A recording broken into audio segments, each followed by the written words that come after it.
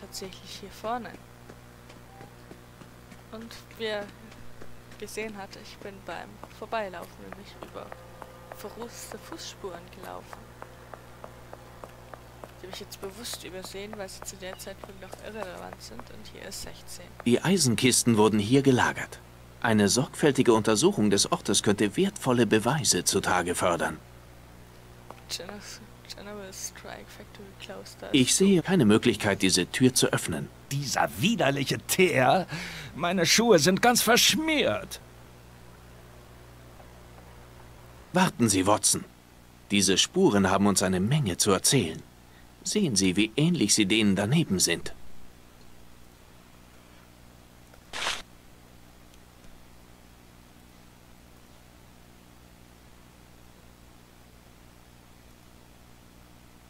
Am rechten Schuh fehlt ein Nagel. Ach, Watson, unserem Fall wäre besser gedient gewesen, wenn ich die Intelligenz auch eingesetzt hätte, die Gott mir verliehen hat. Wenn Sie jemals auf die Idee kommen sollten, dieses Abenteuer aufzuschreiben, werden Ihre Leser sehr enttäuscht sein, fürchte ich. Ich hätte diesen Bereich des Lagerhauses mit mehr Sorgfalt untersuchen müssen, weil diese Fußspuren denen bei Stanwick ähnlich sind. Wir müssen ihnen nur folgen, um herauszufinden, wo sie hinführen. Wer die Bücher gelesen hat, weiß, dass sie in der Ich-Perspektive geschrieben werden. Allerdings aus Sicht von Watson, der beschreibt, wie, wie er mit Holmes seine Abenteuer erlebt. Und ach, Maus.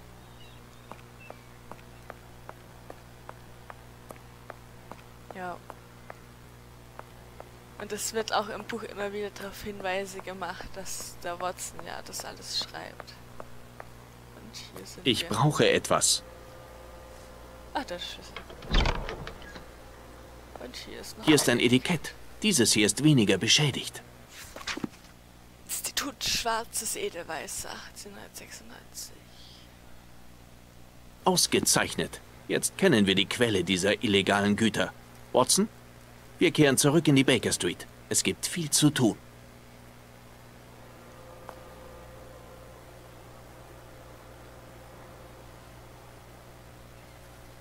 Ich speichere hier noch mal kurz drauf. Es ist mir nämlich noch einmal abgestürzt gewesen bei einem anderen Spiel.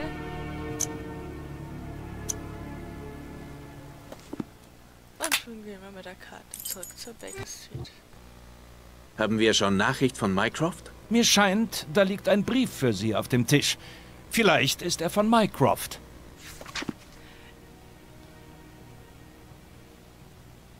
Ja, einfach lesen. Einfach Pause machen und lesen. War jetzt zwar nicht besonders viel, aber ich kann auch nicht alles vorlesen. So, das möge deine Larve durch den Äther gehen, Sterne wie Maden in einer Frucht. Erwarte dein Erwachen dir zu ehren, Licht der Tiefe, er ist der, den du wähltest, uns die Schönheit tiefster Schwärze zu zeigen. Licht der Tiefe, er ist der, der dein Zeichen im Körper trägt, er wurde einer von uns, Licht der Tiefe. Seinem Ruf antworten die Tiefen, und wir antworten in deinem Namen, Licht der Tiefe. Sein Körper ist Tang, sein Körper ist der Oktopus. Seine Stimme ist deine Stimme, der Traum die Rückkehr des Großartigen müssen sich. Der arme Teufel, der unter diesem Lagerhaus lag, war also in der Tat der Besitzer des Passes mit der blutigen Zeichnung. Sein Daumen war aufgerissen.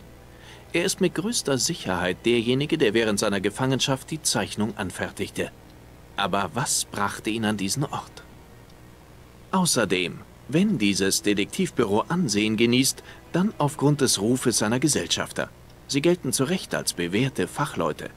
Deshalb dienten die letzten Anstrengungen dieses sterbenden Mannes dazu, Hinweise für diejenigen zu hinterlassen, die nach ihm suchen würden. Erinnern Sie sich, Watson? Der Zeigefinger dieses Mannes war staubbedeckt und wir fanden Zeichnungen in eben diesem Staub auf dem Boden. Genau, Holmes. Ein Pluszeichen in einem Rechteck. Lassen Sie uns die Fakten betrachten, Watson.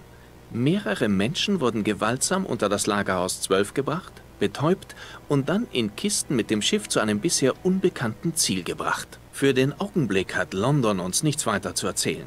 Diese Leute, wer auch immer sie sind, haben einen kleinen Vorsprung. Wir sollten ihnen nicht noch mehr geben. Wir müssen sofort abreisen. Aber wohin? Warten Sie, Watson. Mir kommt da plötzlich eine Idee. Was bedeuten für Sie ein Edelweiß und ein Rechteck mit einem Pluszeichen darin? Jupp, es gibt eine Flagge, die ein rotes Rechteck mit einem weißen Pluszeichen da drin ist. Und die Flagge gehört der Sch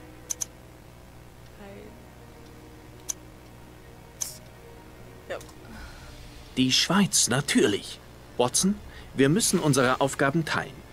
Ich werde über die Einzelheiten von Mr. Colbys Tod Bericht erstatten, da diese Angelegenheit Taktgefühl und Diskretion verlangt. Aber ich würde nie.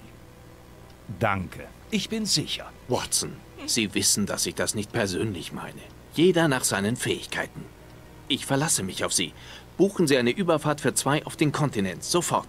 Und Watson, versuchen Sie etwas über ein Institut namens Schwarzes Edelweiß herauszufinden und zu bestimmen, ob es in der Schweiz liegt. Wenn es diesen Ort gibt, dann finden wir dort sicher die Antworten, die wir suchen. Beeilung jetzt! Das Spiel hat begonnen. Ja. Die Statue sitzt neben Watson. Moment mal, Holmes. Sie lesen ja einen Groschenroman. Ich dachte, ich finde Sie hier vertieft in alte Zeitungsnachrichten, auf der Suche nach Ähnlichkeiten mit unserem Fall. Und Sie vergeuden Ihre Zeit mit exotischen Abenteuern irgendeines unglaubwürdigen Helden. Hüten Sie sich davor, Populärliteratur als unseres Interesses für unwürdig zu betrachten, Watson. Werde ich außerdem nicht selbst von einigen Ihrer Leser als unglaubwürdiger Held betrachtet, der exotische Abenteuer erlebt? Holmes, das geht zu weit. Sprechen wir nicht mehr davon, Watson.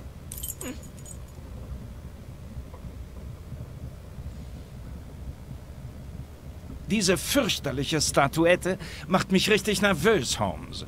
Diese Reise in die Schweiz bringt unangenehme Erinnerungen zurück, nicht wahr? Watson, diese Ereignisse sollten bleiben, wo sie hingehören, in der Vergangenheit.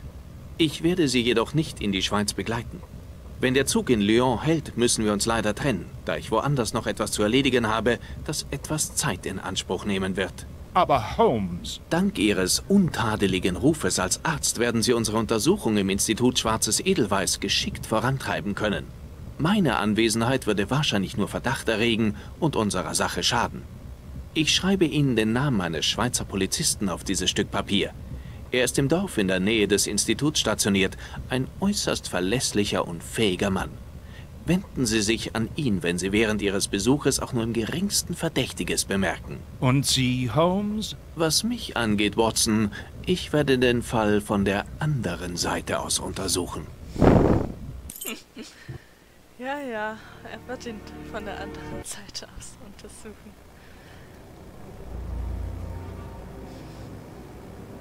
Und zwar wörtlich. Aber ich will nicht spoilern. Irgendwo in den Schweizer Alpen. Sehr wenig Bäume. 11. September 1894. Wer will, kann sich ja aussuchen, Behalten Sie einen Jahre klaren Kopf, Watson. Sollten Sie etwas Außergewöhnliches mit ansehen, egal wie unbedeutend es scheint, begeben Sie sich sofort ins Tal und fragen Sie nach Hauptkommissar Bilger. Ich kenne ihn. Er ist ein vertrauenswürdiger Bursche und wurde über Ihre Anwesenheit in seinem Bezirk informiert. Er sollte sich als fähiger Verbündeter erweisen. Aber. Ja, 11. September weckt unangenehme Erinnerungen. Vielleicht wahrscheinlich bewusst gewählt. Ja. Aber ich will die Stimmung nicht vermiesen. Das Spiel vermisst sich oft schon genug.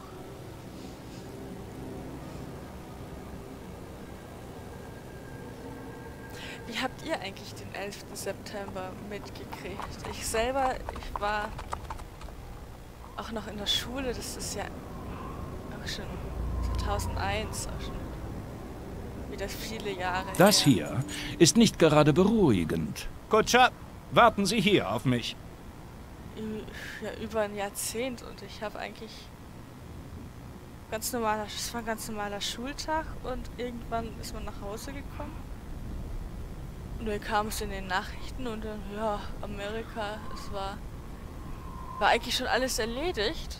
Und dann, was mich aber in Erinnerung geblieben sind, waren die mit zentimeterdicken, staubbedeckten Straßen und da drin Leute mit Atemmasken und alles. Das, das fand ich fast schon mehr beeindruckender als diese Flugzeuge, die in die Türme gekracht sind.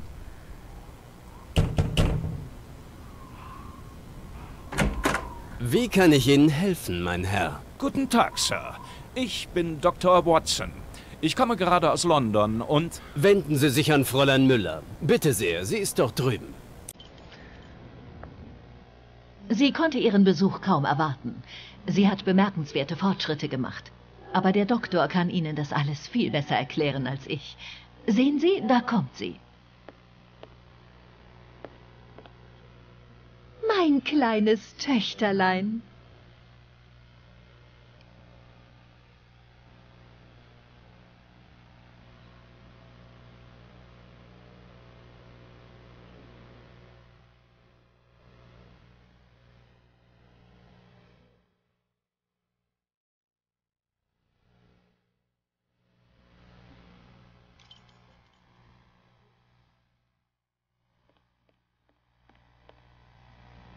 Guten Tag, Fräulein.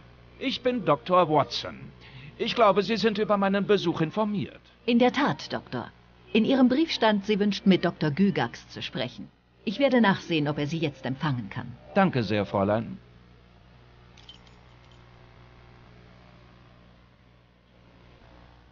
Guten Morgen, Dr. Watson.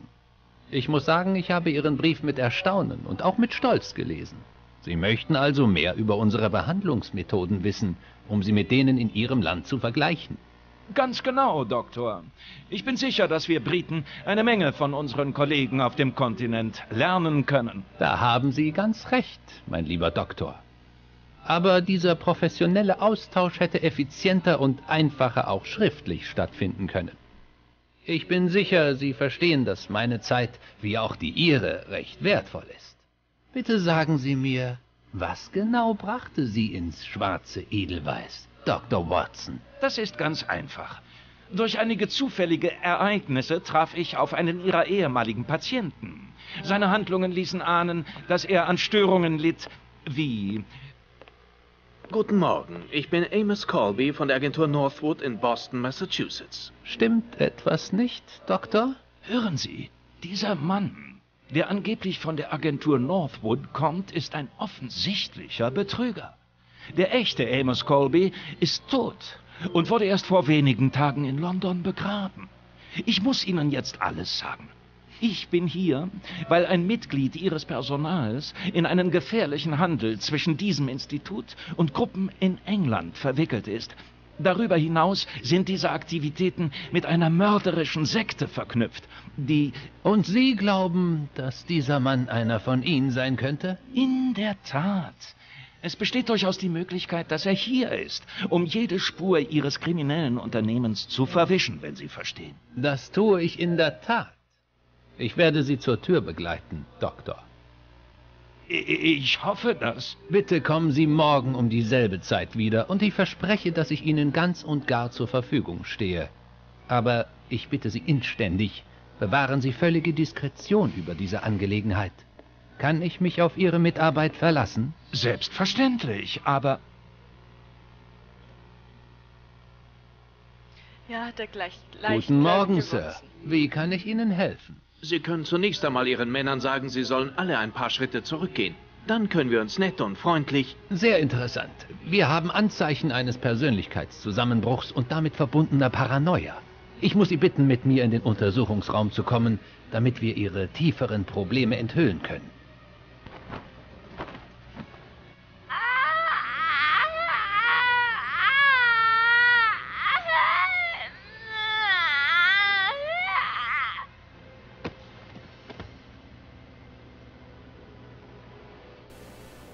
Keine Sorge, das ist nichts Ernstes. Nö, nö, ist nichts Ernstes.